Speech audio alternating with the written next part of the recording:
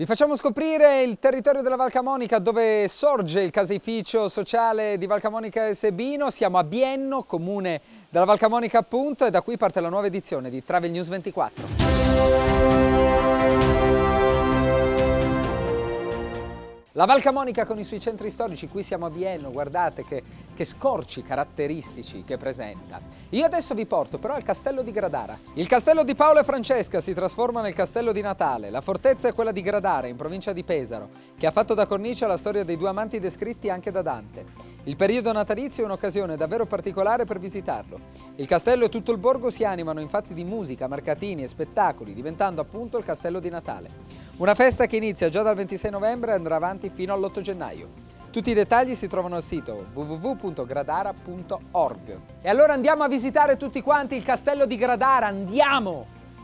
Io continuo ad essere all'interno dello spaccio qui a Capo di Ponte eh, del caseificio di Valcamonica e Sebino e vi porto a Gallarate. Compleanno speciale per il Maga di Gallarate. Il museo in provincia di Varese è diventato negli anni punto di riferimento per l'arte contemporanea, compie infatti 50 anni.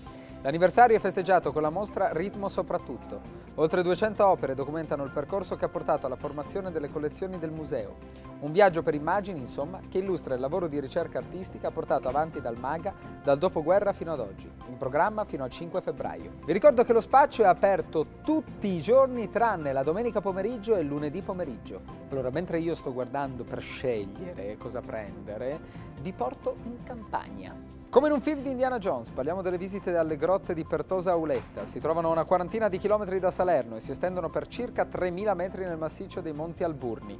Al loro interno, ed è questo che le rende particolari, nascondono un fiume sotterraneo navigabile, il fiume Negro. In barca si va così alla scoperta del mondo del sottosuolo, fatto di piccole cascate d'acqua, stalattiti e stalagmiti di ogni forma e dimensione.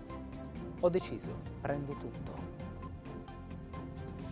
Da questi splendidi luoghi è tutto, mi raccomando inviateci le vostre segnalazioni a redazione chiocciolatravelnews24.it alla prossima edizione di Travel News 24.